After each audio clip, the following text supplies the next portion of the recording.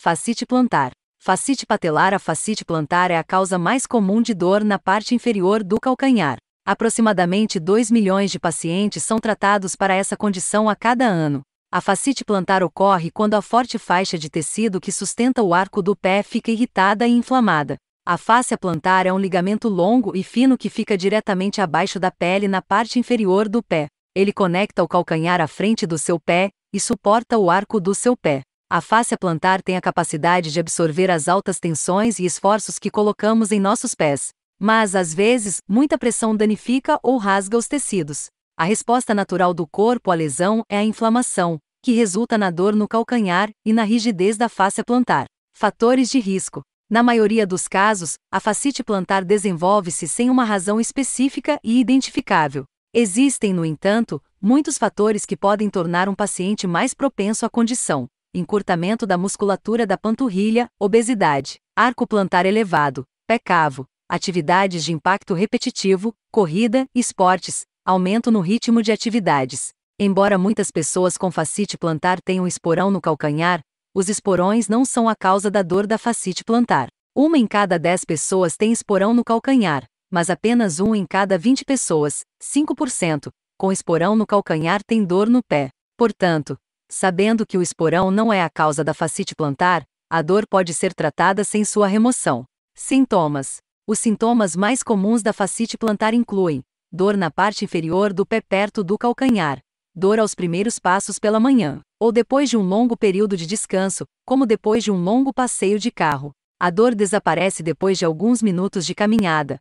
maior dor após, não durante, exercício ou atividade. Para o diagnóstico, exames de imagem podem ser solicitados, depois de um bom exame clínico e consulta médica adequada. Raio-X fornecem imagens claras dos ossos. Eles são úteis para descartar outras causas de dor no calcanhar, como fraturas ou artrite. Esporão de calcanhar pode ser visto em um raio-x.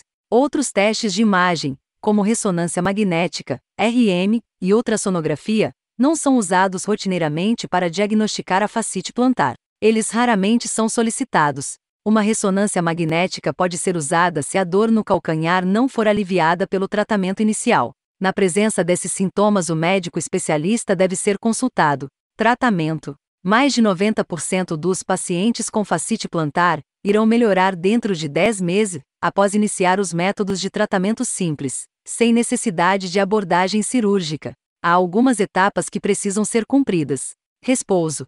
Diminuir ou mesmo interromper as atividades que pioram a dor é o primeiro passo para reduzir a dor. Você pode precisar até interromper as atividades atléticas. Gelo. Rolar o pé sobre uma garrafa de água fria ou gelo por 20 minutos é eficaz. Isso pode ser feito 3 a 4 vezes por dia. Medicação anti-inflamatória não esteroide. Drogas que reduzem a dor e a inflamação, sob indicação médica. Exercício. Fascite plantar é agravada por músculos encurtados em seus pés e panturrilhas. Alongar os bezerros e a face plantar é a maneira mais eficaz de aliviar a dor causada por essa condição. Outras medidas incluem injeções, mudança de calçados, splints noturnos, fisioterapia, terapia por onda de choque, etc. O tratamento cirúrgico é reservado para os pacientes em que o tratamento conservador falhou após correta realização, por um período mínimo de 12 meses. Esse vídeo tirou sua dúvida? Gostou? Deixe seu like e se não é inscrito no canal te convido a fazer parte do nosso canal ativando o sininho. Assim você não perde nenhum vídeo que é todos os dias. Não esqueça de comentar porque a Renata lê todos os comentários respondendo nas lives que é uma vez na semana. Ah, nossas redes sociais está abaixo do vídeo, principalmente nosso grupo do WhatsApp. Fiquem todos com Deus, muita luz, esperança e fé sempre. Até o próximo vídeo do canal Artrite Reumatoide Muito Além das Juntas.